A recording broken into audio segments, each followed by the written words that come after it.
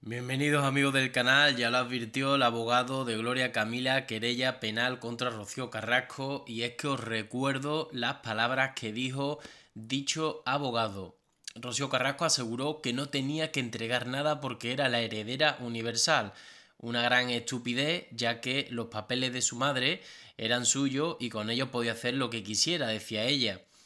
Pero respecto a esta afirmación, el juez dijo que no, que ella, lo que ella pretendía publicar pertenece a la intimidad de Rocío Jurado y esa intimidad muere con la persona, no se hereda.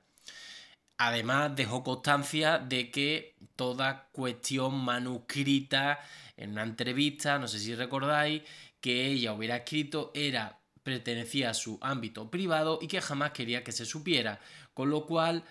eh, con estas acciones legales, Gloria Camila defendía el honor y la intimidad tanto de su madre como en este caso, eh, porque si, si sacaba esta, esta, bueno, lo que quería sacar estos manuscritos, este diario, no sé, se habló de tantas cosas que al final ni, ni son nada,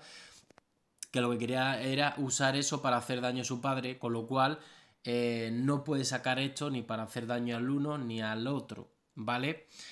Eh, experto en Derecho Penal, Imagen y Derecho al Honor y la Intimidad, afirma tajante el señor Trebol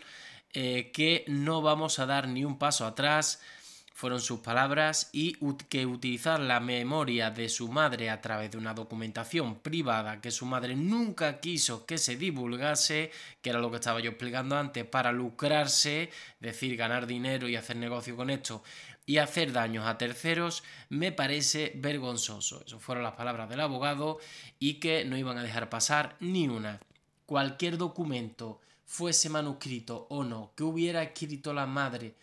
a máquina, a ordenador o a mano, era óbice para llevarse una demanda, una querella por este tema del honor y la privacidad de la madre Rocío Jurado.